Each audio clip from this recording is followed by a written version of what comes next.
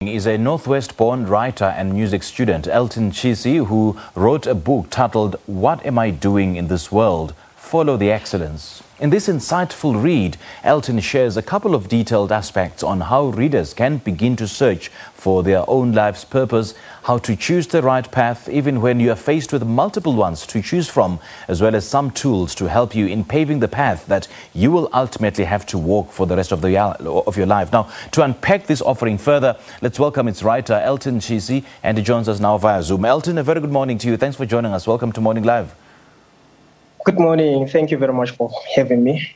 Let's start with uh, how you went from being a music student to writing a book. Oh well, amazingly, it well started by me write, loving, having a passion for writing. Uh, I fell in love with writing poems and changing to write lyrics. That's how I started my journey, and that's led me to study music. And I think the title of the book is self explanatory, but just break it down for us and why it's best fitting for this book. Oh, what am I doing? This is the question that most young people should ask themselves. Like, why am I born? Like, what's the main purpose for me to be on earth? And what is my role for me being born? You know, we have to all try by means to find our purpose on earth. And unleash what we have within ourselves. We have different uh, gifts, we have to use them, and that's the reason why we are born. And the book delves more on one's sense of finding their purpose in life. Just speak to us about your own journey and whether you have found your own purpose. Oof. It was not an easy one. Uh, my journey it started when I wanted to study music.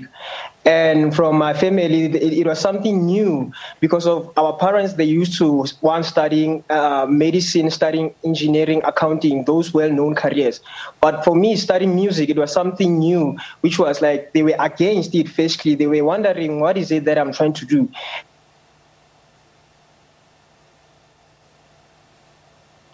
Uh, a much support from them, but not that uh, I blame them, but because of they didn't understand what is music about. Because of for me, it was my passion. It was something that I fell in love with. Because yeah. of I studied music while I was still in high school. They thought it's a hobby. They think it's something that it's keeping me out of the streets, not knowing that it's something. It's my gift. It's something that will I'll one day be. And you mentioned that as human and beings, we were not born to be rich, but to follow excellence. What do you mean by this? Oh yes, on that one, I meant like most people they studying certain things because of they want to have money, they want to be rich, not knowing that it has to start within yourself. Uh, that's why I said follow the excellence, success will follow you. It's because of I want you to to follow your gift firstly because of your gift. It's gonna make you fortune than following money because of you won't know what you're putting yourself into and how other people are accumulating their monies. And you go on to say that the world is full of people who want to copy other people's lifestyles, forgetting about themselves, yeah? Yes. On that one, uh, it's what what's happening on social media. Young people they are following different people on social media, not knowing how those people they are achieving whatever they are achieving. They want to live their certain lifestyle, and some they can't afford, and they ended up stealing so that they can be like them. Not knowing that if you find within your, or I mean, if you search within yourself, that's how uh, you're supposed to live, not living like someone else you see on social media. And perhaps one of the aspects of the book that I found interesting is where uh, you talk about the role of parents in a child's life and how the cause in which the child needs to follow. Could you elaborate more on this? On that one, uh, I would love parents to spend more, I mean, much time with their kids. That's how they get to know them because of when a child is born, uh, mothers spend much time. They breastfeed. Some they breastfeed, but they mostly spend time with them. But even when they are growing old, they should be there, having uh, to see them growing, be in their journey up until they are old enough. I want the parents to spend much time so that they understand who their child are, not uh, because of we our, our parents, our black parents, they believe that when a child is grown, it's done, but not knowing that the, the child they still need parents, even if they are old, they still need parents, their guidance. We, we still need those kind of things. And you say that young people will relate with some of the events that happened in this book. Just take us through some of these events and how the youth can actually relate to them. Oh, I was raised by a single parent, so it's one of most things that uh, young people can relate with. And again, me trying by all means to study what I love, uh, following my passion while they were not sure what is it. Uh, it's not that I went against their will, but because of it's something that I, I, I want. It's something that I, I really love. Uh, it's something that on my books I, I talks about how to break those challenges where parents they don't want to allow you studying what you want or to be what you want because of they're not sure or they don't understand. And again, talking about me being raised by a single parent, the challenges that me and my mom we had and how we managed to overcome them, and my relationship with my dad, how is it up to so far, and me going to stay with my father and coming back from him because of our relationship was never meant to be. And those are the kind of challenges that I talk about uh, on my book as well.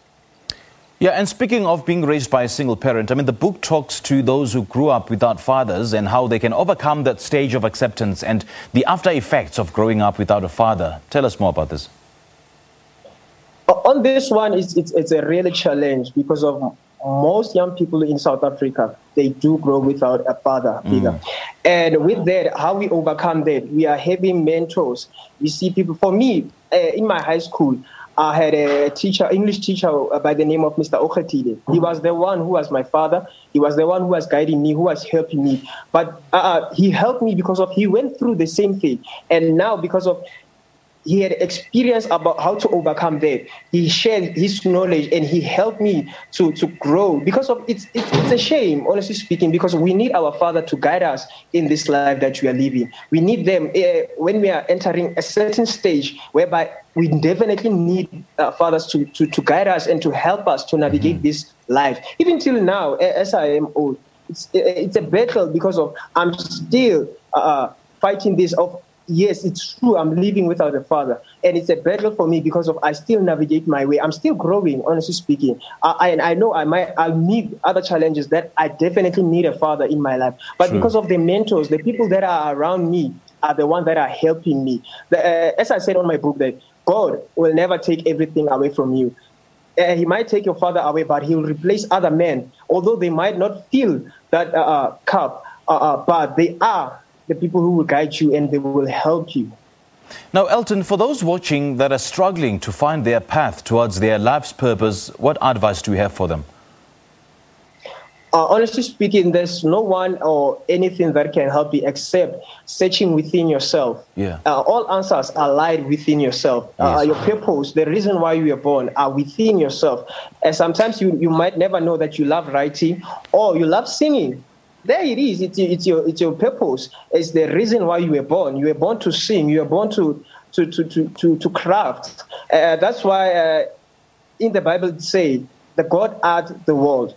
And we as an artist, we are the creator. We are giving life to certain things that were never existing. So it's within yourself to find those kind of things.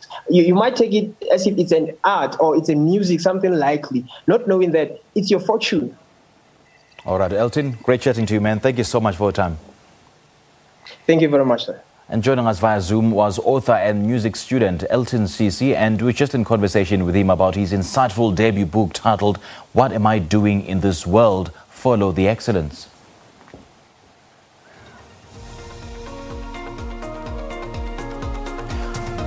All right, uh, in the first